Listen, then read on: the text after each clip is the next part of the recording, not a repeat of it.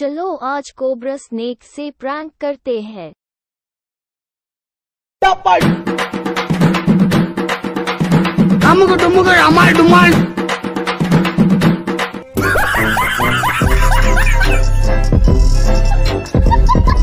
आज की इस वीडियो में दोस्तों आप सभी लोगों का स्वागत है। आज की इस वीडियो में दोस्तों हम लोग अनबॉक्सिंग करने वाले हैं ब्लैक कोबरा स्नेक यानी कि हमने ऑर्डर कर दिया था एक टॉय ब्लैक कोबरा स्नैक को हम लोग ऑर्डर कर दिया था। और दोस्तों, इसका जो रिमोट है ना, वो काफ़ी लाजवाब है। क्योंकि मैंने इसका रिमोट देखकर ऑर्डर किया था।